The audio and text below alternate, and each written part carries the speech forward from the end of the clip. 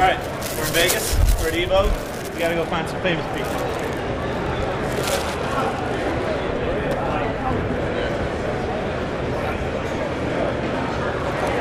I have a million followers on Twitch.